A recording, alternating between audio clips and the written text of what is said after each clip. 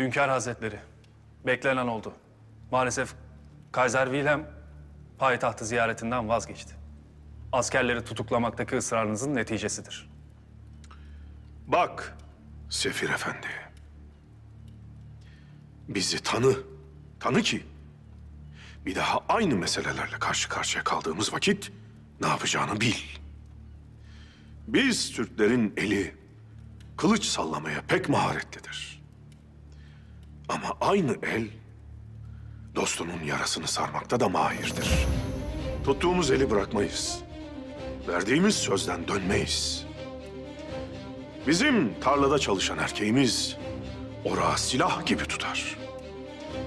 Elekte un eleyen kadınını görsen sanki elinde elek değil de ok yay varmış gibidir. Otururken bile ata biner gibi otururuz. Biz ölmeyi biliriz. Namusumuz, toprağımız, bayrağımız, dinimiz için öyle güzel ölürüz ki. Bir de bu kıymetler için yaşayanları düşünün. Bizleri bilin. Biz böyleyiz. Ama askerleri esir aldınız. Ruslarla Poltava'da savaşıp yenilen İsveç kralı Demirbaş Şarl da Türklere sığınmıştı. Ne der bilir misin Türkler için? Hayır hünkârım. Poltava'da esir oluyordum Ruslara karşı. Bu benim için bir ölümdü. Kurtuldum. Bu nehre önünde tehlike daha kuvvetli olarak belirdi. Önümde su, ardımda düşman. Tepemde cehennemler püsküren güneş.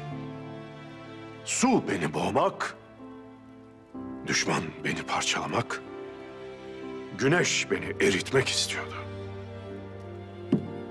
Yine kurtuldum. Fakat bugün Türklerin esiriyim. Demirin, suyun, ateşin yapamadığını onlar bana yaptılar ve beni esir ettiler. Yalnız ayağımda zincir yok.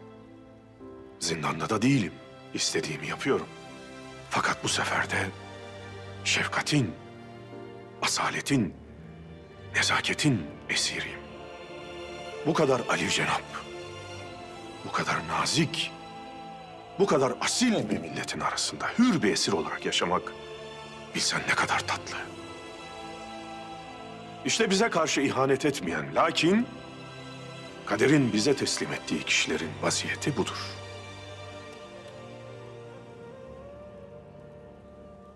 Askerleriniz de bugün bundan farklı değildir. Sizlerin ne kadar Ali Cenap olduğunu biliyorum. Ancak sizin bu husustaki hassasiyetlerinizi Kaiser Wilhelm'e anlatamıyorum. Bağışlayın.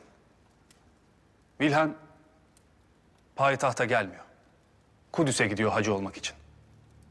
Ziyaretini orada tamamlayıp geri dönecek.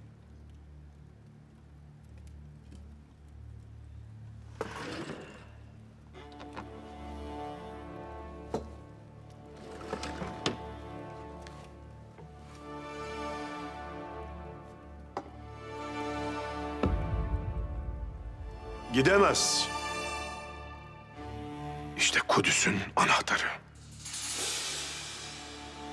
Bir vakitler Hazreti Ömer radıyallahu anh'ın eline geçen, sonra Yavuz Sultan Selim Han'ın emanetine geçen bu anahtar bugün bizdedir. Kudüs'ün hadimi de, hakimi de biziz. Bizden icazet almadan kralınız Kudüs'e adım atamaz. İmparatorunuza aynen bunu söyleyiniz. Dediklerinizi aynen ileteceğim. Umarım Kaiser Wilhelm sizin gibi bir dostundan olmaz. Hünkâr Hazretleri. Keşke sizin için çalışsaydım. Siz hakkaniyetli bir adamsınız.